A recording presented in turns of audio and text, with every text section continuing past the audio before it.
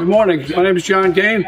I'm the rescue specialist, uh, specifically with the Holmatro tools with Siddons Martin. And uh, these are the tools that I use at my demonstrations and uh, my demos. Uh, any kind of training, things of that sort. Uh, right here we have our spreader.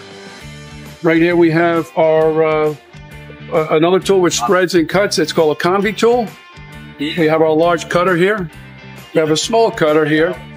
And we also have a ram for spreading uh, door frames and things of that sort.